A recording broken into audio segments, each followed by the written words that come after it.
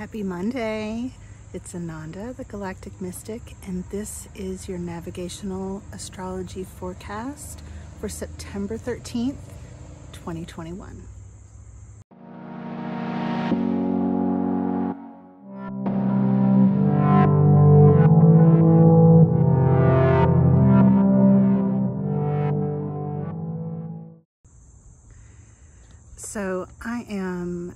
From behind my desk today. Sometimes I have to do that.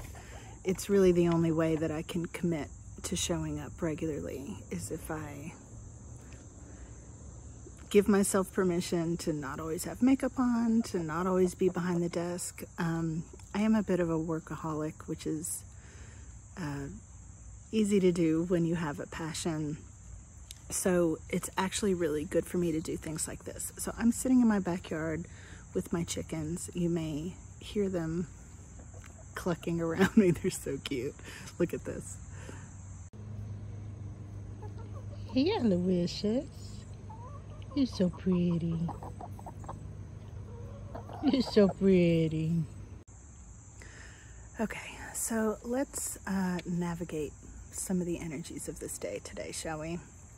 The sun is in Virgo at 21 degrees, so just at the beginning of the third decan of Virgo. This is the 10 of Pentacles energy that I was talking about last week. Uh, this is legacy building, doing things that will matter in the long run, and allowing yourself to chase, not chase, but to engage in activities that fortify you in all of your dreams, all the things that you want that are solid and real. This is the time to really be thinking about that, making plans. This chicken is about to peck my toes. um, today, the Sun Neptune opposition is exact. So I've been talking about this for the last, you know, week and a half. Today it is exact. And, you know, this is really the energies are asking us to spiritualize our consciousness. Whatever areas have been revealed as illusion and delusion, to spiritualize those areas, to up level them with your spiritual consciousness.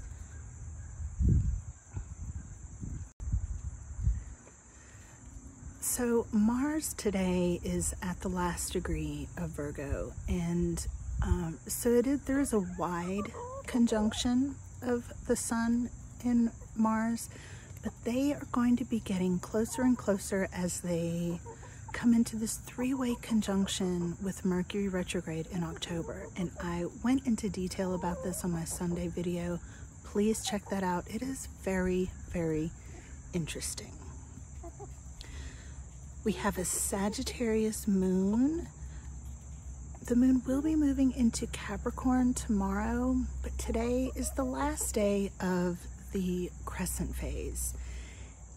So this is, you know, if we're going to use the plant analogy, this is when the seed has germinated, it, it is reaching for the sun, and those first leaves have opened.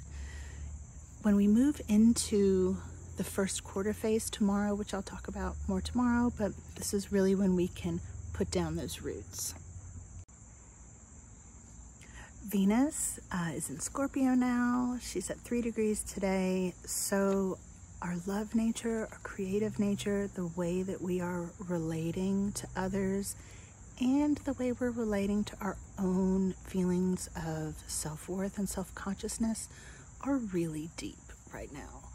Um, there's a magnetic quality and a very intense need and desire to be loved and accepted. Now, uh, Venus is in the first decan of Scorpio, which is the Five of Cups decan. So there can be a tendency to only look at, uh, to have kind of a defeatist mentality or to only see what has been lost or what is wrong or what isn't what you wish it was what you wish it was you know? Um, you know the five of cups is about focusing the energy on the spilled cups but not paying attention to the cups that are still full. So if you start to feel that just know that there's still some full cups there's still plenty plenty of fulfillment joy and love for you Venus is also squaring Saturn. And this combination, you know, with the depth of Virgo or uh, the depth of Venus in Scorpio,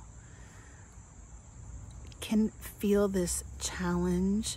You know, Saturn wants us to be responsible, Saturn wants us to love ourselves. So, this is a calling to excavate. Excavate whatever needs to be dug up so that you can reinvigorate your self love.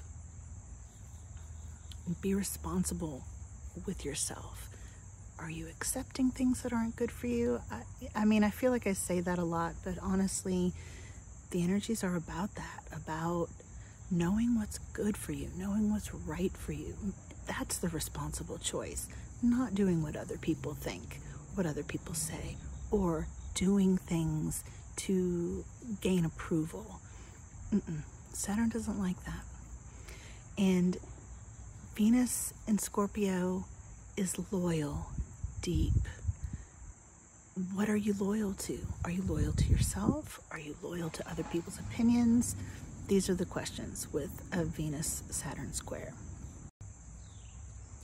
both the Sun and Mars are trining Pluto right now. So this is a lot of energy, you know, with, with the Sun and Mars coming closer into conjunction, both of them trining Pluto. This can be a bit of a our compulsions could get away from us, our obsessions, but if it's not that, it can be the energy, the inclination to really dive beneath the surface of things. You know, the warrior transformed is the warrior in you. What is he fighting for? What is she fighting for? What are they fighting for? What is the warrior in you fighting for? The energy is there to fight for whatever you need right now.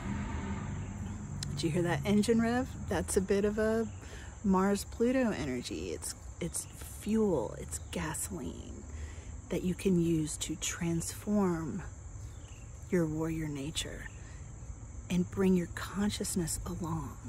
This is really yummy. I like that. So I hope you have a great day.